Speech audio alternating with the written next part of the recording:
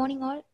ഇന്നത്തെ ക്ലാസ് എന്ന് പറയുന്നത് ഒരു ഓർഗനൈസേഷനെ സംബന്ധിച്ചിടത്തോളം ഏറ്റവും ക്രൂഷ്യലായിട്ട് വരുന്ന ഒരു വർക്കിന്റെ ഭാഗമാണ്. അതായത് ഒരു പ്രോസ്പെക്റ്റിനെ നമ്മൾ മുന്നിൽ കാണുമ്പോൾ തന്നെ അയാൾ നമ്മുടെ എമൗണ്ട്സ് നമ്മുടെ പ്രൊഡക്റ്റിന് അല്ലെങ്കിൽ സർവീസിന് എന്ത് ചാർജ് വരുന്നു എന്ന് ചോദിക്കുമ്പോൾ നമ്മൾ ഉടനെ അവർക്ക് റിപ്ലൈ ഇട്ട് കൊടുക്കുന്ന ഒരു എസ്റ്റിമേറ്റ് ആയിരിക്കും. നമ്മൾ ഓൺ ദ സ്പോട്ടിൽ ഒരു ഇൻവോയ്സ് ക്രിയേറ്റ് ചെയ്ത് കൊടുക്കാതെ ഒരു എസ്റ്റിമേറ്റ് ആയിട്ട് കൊടുക്കുമ്പോൾ അവർക്ക് അത്രയും അട്രാക്റ്റഡ് ആവും.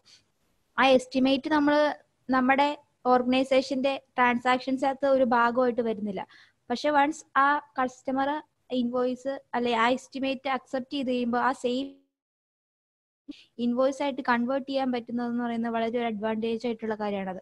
അതായത് ഫ്യൂച്ചറിൽ ഏത് സമയത്ത് വേണമെങ്കിലും അല്ലെങ്കിൽ ഒരു ലിമിറ്റഡ് ടൈമിനുള്ളിൽ നമുക്ക് ആ സെയിം എസ്റ്റിമേറ്റിനെ ഇൻവോയ്സ് ആയിട്ട് കൺവേർട്ട് ചെയ്യാൻ പറ്റുമെന്നുണ്ടെങ്കിൽ നമ്മുടെ മാക്സിമം അതായത് മിനിമം ടൈമിനുള്ളിൽ കുറഞ്ഞ എഫോർട്ടോടി നമുക്ക് ആ ഇൻവോയ്സ് ബെറ്റർ ആക്കി കാണിക്കാൻ പറ്റും. അങ്ങനെയുള്ള ഒരു ഓപ്ഷൻ നമ്മുടെ ക്വിക്ക് ബുക്സിൽ ഏറ്റവും ബെറ്റർ ആയിട്ടുള്ള ഒരു ഫീച്ചറാണ് ആ സെയിം ഇൻവോയ്സ് എ സെയിം എസ്റ്റിമേറ്റിനെ ഇൻവോയ്സ് ആയിട്ട് കൺവേർട്ട് ചെയ്യുമ്പം അത്രയും കസ്റ്റമർ സാറ്റിസ്ഫാക്ഷൻ കൂടി ഉണ്ടാവുന്നുണ്ട്. അപ്പം അതിനെക്കുറിച്ചുള്ള ഒരു ക്ലാസ് ആയിരുന്നു ഇന്ന് മെയിൻ ആയിട്ട് പറഞ്ഞിരുന്നത് പിന്നെ നമുക്ക് ഒരു ഓർഗനൈസേഷനെ സംബന്ധിച്ചിടത്തോളം റണ്ണിംഗ് ആയിട്ടുള്ള ഒരു ഓർഗനൈസേഷൻ ആണെങ്കിൽ ഒരുപാട് പ്രൊഡക്ട്സ് ആൻഡ് സർവീസസ് ആ ഓർഗനൈസേഷൻ പ്രൊവൈഡ് ചെയ്യുന്നുണ്ടായിരിക്കും.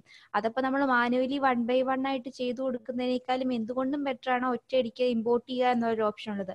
പല ഓർഗനൈസേഷൻ ആണെങ്കിൽ പോലും ഒരുമിച്ച് ക്വിക്കായിട്ട് ഓരോ കാര്യങ്ങൾ ചെയ്യാൻ പറ്റുന്നതിലുള്ള ഓരോരോ ഐഡിയാസ് ആണ് ഓരോരുത്തരും എക്സ്പ്ലോർ ചെയ്തുകൊണ്ടിരിക്കുന്നത് ആ എക്സ്പ്ലോറിന്റെ എക്സ്പ്ലോർ ചെയ്യുമ്പോഴത്തേക്കും ഇങ്ങനെ ഒരു ഐഡിയ ഓരോരുത്തർക്കും നമുക്ക് പറഞ്ഞു കൊടുക്കാൻ പറ്റുവാണെങ്കിൽ അങ്ങനെ ഒരു ഓപ്ഷൻ ഉണ്ടെന്ന് ഓരോരുത്തരും അറിയുവാണെങ്കിൽ അത്രയും അട്രാക്റ്റഡ് ആയി മാറുകയാണ് ചെയ്യുന്നത്. അപ്പം അങ്ങനെ ഇമ്പോർട്ട് ചെയ്യാൻ പറ്റുന്നുള്ള ഒരു കാര്യം ക്വിക്ക് ബുക്സിന്റെ ഏറ്റവും വലിയ അഡ്വാന്റേജ് ആണ്. പിന്നെ ലാസ്റ്റ് വന്നിരിക്കുന്ന ഓപ്ഷൻ ഡിലീഷൻ ആണ്. ഡിലീഷൻ എന്ന് പറയുന്നത് ഏതൊരു സോഫ്റ്റ്വെയർ ആണെങ്കിൽ പോലും ഒരു ആക്ഷൻ നമ്മൾ ചെയ്തൊരു ആക്ഷൻ റിവൈസ് ചെയ്യാനുള്ള ഒരു ഓപ്ഷൻ എല്ലാവരും കൊടുക്കുന്നുണ്ട്. അതുപോലെ തന്നെ നമ്മുടെ ക്വിക്ക് ബുക്സിലും ഡിലീഷൻ എന്ന് പറയുന്ന ഒരു ഓപ്ഷൻ ഉണ്ട്.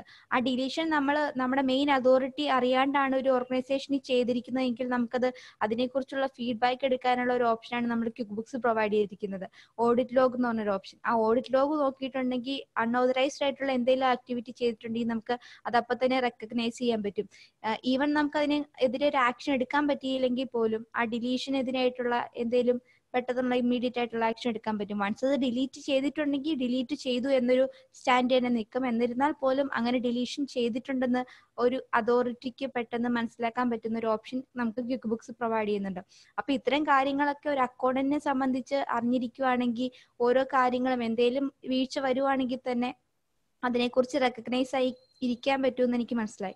അപ്പോൾ ഒരു ഓർഗനൈസേഷനിൽ ചെല്ലുമ്പോൾ ഓരോ കാര്യങ്ങൾ ചെയ്യുമ്പോഴും അത്രയും സീരിയസ്നെസ്സോട് കൂടി ഒരു ഡിലീഷൻ ചെയ്യുകയാണെങ്കിൽ പോലും അത്രയും സീരിയസ്നെസ്സോട് കൂടി നമ്മൾ ആ ഇൻവോയ്സിനെ കണക്കാക്കണം എന്നുള്ള കാര്യമാണ് എനിക്ക് ഇന്നത്തെ ക്ലാസ്സിൽ നിന്ന് മനസ്സിലായത്. താങ്ക്